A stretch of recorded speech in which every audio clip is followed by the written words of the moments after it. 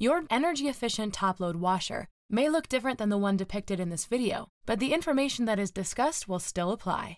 Consult your owner's manual for more information on your specific model. We will now load the agitator style top load washer. Load dry items loosely in the washer basket. For best results, load items evenly and loosely around the basket.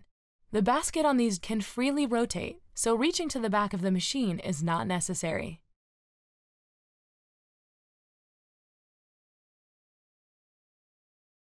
Do not load items any higher than the bottom of the plastic top. Load large items such as sheets, blankets, and towels by folding them in a Z shape and placing them around the outside of the basket. Do not wrap these large items around the agitator. Once the basket is properly loaded and the detergent and other cleaning products are added, close the lid. Select the appropriate wash cycle for the garments that you are washing and adjust settings. Please note that selecting a water temperature that is too warm for the stain you are washing may set the stain.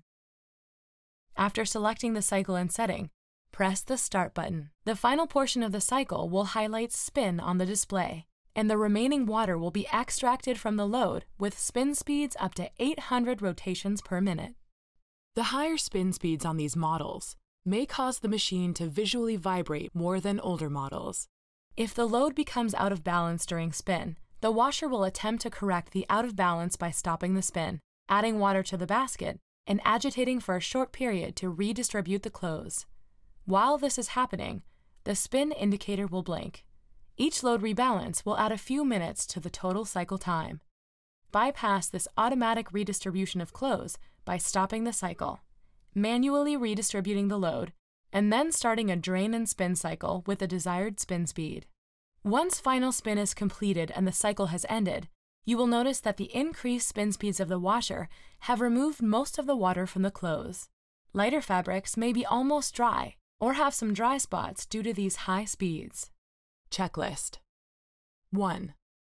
For best results, load items loosely and evenly around the basket. 2. Do not fill the washer higher than the bottom of the plastic top. 3. Do not wrap large items around the agitator.